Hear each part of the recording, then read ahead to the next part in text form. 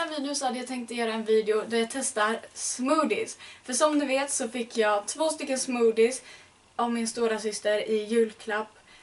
Julklapp? Nej, inte julklapp. När jag fyllde år. Så att jag hade tänkt att testa dessa två nu och det är en rosa och en orange. Och jag vet inte ens vad det är för smaker eller någonting så att jag ska läsa om det nu. Jag valde att inte ens kolla upp det innan jag gjorde videon för att det ska bli roligast. Och eh, det här är jordgubb, banan och någonting som jag inte vet vad det är.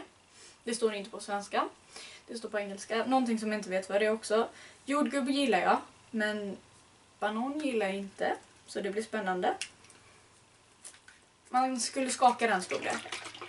Jag vet inte om den här är kall nu för jag stoppade in den i frysen. För att jag skulle sätta mig och spela in. Och så är jag bara, den ska vara kall. Drickas kall. Den ska tydligen förvaras i rumstemperatur. Men innan man dricker den så ska den tydligen ställas in i kylskåpet.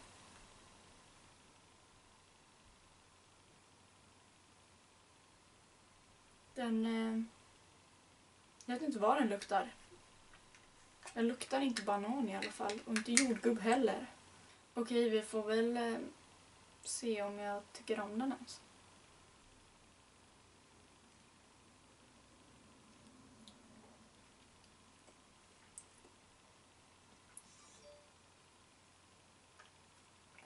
Förlåt, jag ska stänga av ljudet. Jag vet när jag sagt till mig att stänga av ljudet. Jag glömmer alltid det. Så. Um, den, alltså jag tyckte inte om den. Men jag tyckte inte den var... Alltså jag tyckte varken den var god eller äcklig. Jag vet inte.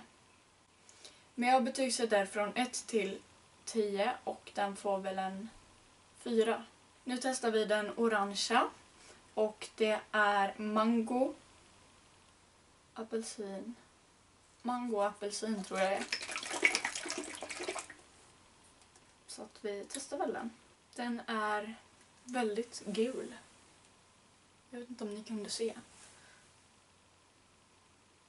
Åh, den luktar jättegott.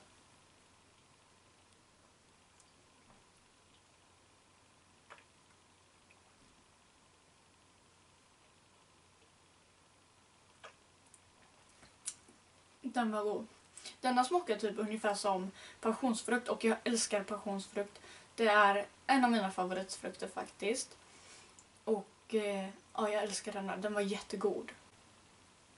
Och denna får en åtta. Den hade ju såklart kunnat vara godare men den var väldigt god. Jag vill bara tacka min syster för att jag fick dessa i födelsedagspresent så jag kunde göra en rolig video på det.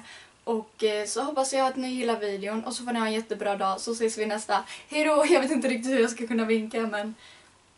Hejdå!